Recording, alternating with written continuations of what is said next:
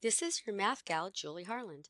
Please visit my website at yourmathgal.com where all of my videos are organized by topic.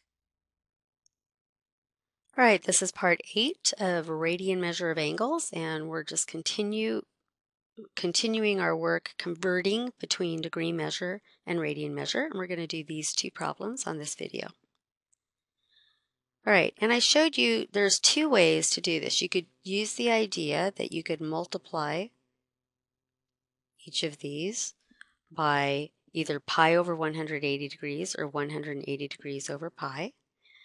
So, and actually, just so we remember what we started with, I'm going to rewrite this as that. And so you want to get degrees in your answer. There are no degrees, so we need to put the 180 degrees in the numerator so we have something in degrees and pi in the denominator. Then we see if we can cancel anything and we'll have degrees in our answer. So the pi's cancel, and then the 6 goes into 180 30 times. So what do we have in the numerator? 7 times 30, which is 210. By the way, the pi's cancel, those are just ones, right? So we have 210 degrees over 1. So we're just going to write 210 degrees. Now I did show you that you could do a direct substitution instead. You could say, well, pi is 180, so if you want, some people do it this way, they just replace the, the pi with 180 degrees. And that works exactly the same way you still would cancel the 6 into the 180 and get 30, and you still end up with 210 degrees. This is really faster if you look at it, right? Just to replace it.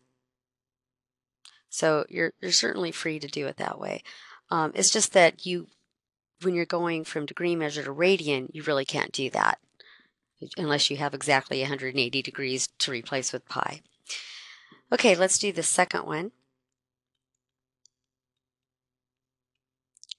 So again, I'm going to first show it by how am I going to get degrees in my answer? I need to get degrees in my answer by putting times 180 degrees in the numerator. So I want the pi in the denominator. You're just multiplying by 1, right? Because these are the same number. 180 degrees and pi mean the same thing. And then I see what I can cancel. The pi's cancel. And then the 2 into the 180 cancels. That'll give you 90. So what does that give me? I've got 11 times 90 in the numerator, right? And then I'm going to have it in degrees, which is what I want. So I have to do 11 times 90. Well, that's just 11 times 9, which is 99. And this extra zero here, because it's really 90, and I have my answer in degrees. And of course, the second way, you could do a direct replacement instead of multiplying by 180 degree over pi and canceling, you could say, well, pi is the same thing as 180 degrees. So you're just doing a substitution and then doing the canceling.